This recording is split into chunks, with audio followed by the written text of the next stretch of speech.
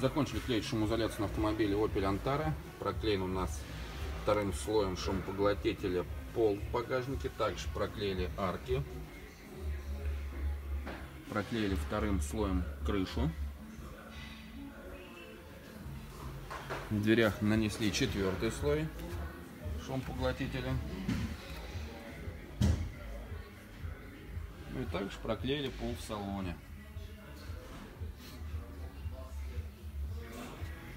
Приступаем к сборке.